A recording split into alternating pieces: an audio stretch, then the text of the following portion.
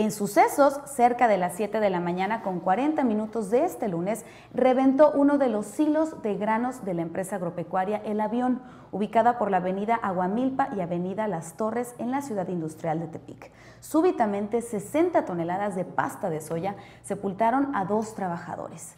Tras el suceso acudió personal de protección civil, policías estatales, municipales y empleados de la empresa agropecuaria El Avión, quienes trabajaron para controlar el siniestro y encontrar a las dos víctimas. Dos personas perdieron la vida tras quedar sepultadas con más de 60 toneladas de pasta de soya en la agropecuaria El Avión, ubicada por la avenida Guamilpa y avenida de las Torres de Ciudad Industrial, en la capital del estado. Cerca de las 7.40 de la mañana ocurrió el incidente. Antes de las 10 a.m., equipos de rescate encontraron el cuerpo de Óscar Alfonso Lozano González, de 22 años de edad.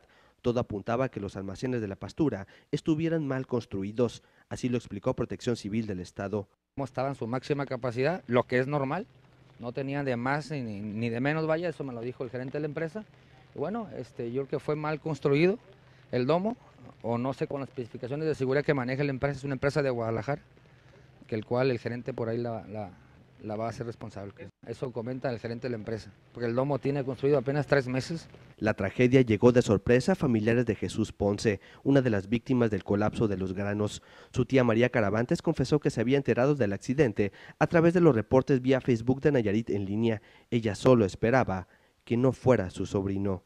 Pues en el Nayarit en línea, este, mi hija que trabaja, ella me, nos habló y nos dijo del accidente y este pues ya ven, pasamos para acá a ver qué había pasado y pues aquí estamos en espera a ver de qué, qué sucede, que si en realidad ojalá Dios quiera que no sea él. La búsqueda continuaba a través de al menos 50 elementos de protección civil del Estado, Topos Nayarit, Cruz Roja, policías municipales y estatales. Finalmente, el cuerpo sin vida de Jesús Ponce Caravantes, de 35 años de edad, fue encontrado pasadas las 2 de la tarde. Su familia esperaba con ansias noticias de la localización de su cuerpo. Los restos fueron trasladados por el Servicio Médico Forense para los trámites de ley correspondientes.